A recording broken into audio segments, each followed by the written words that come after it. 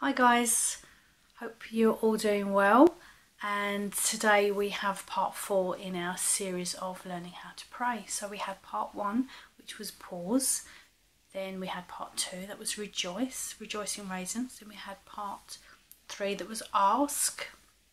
And today we have part four which is yes. So P-R-A-Y spells pray. And today we are going to be looking at the word yes. Why for yes.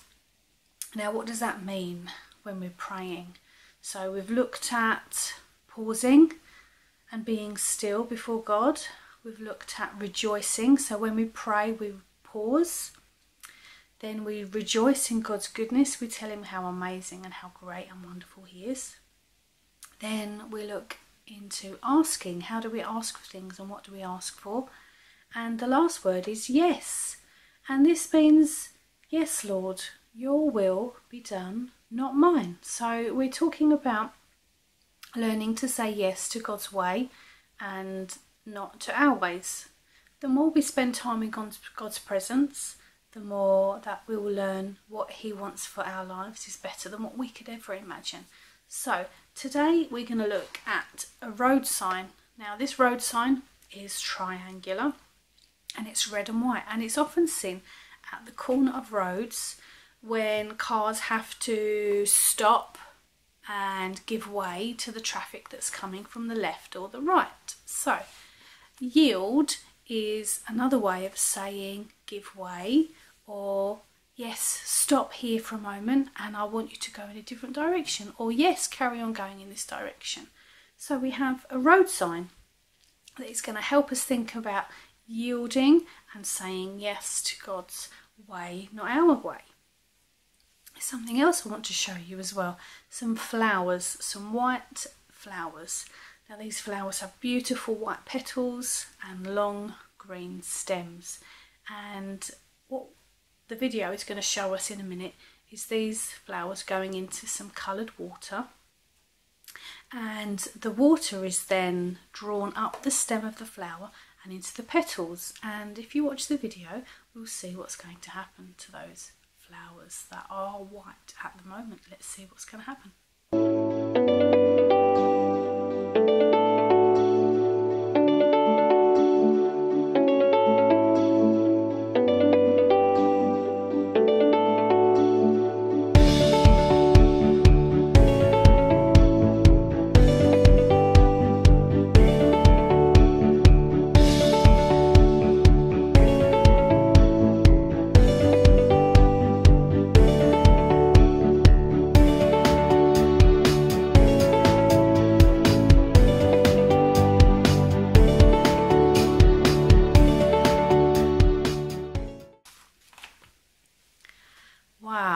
Did you think of that video?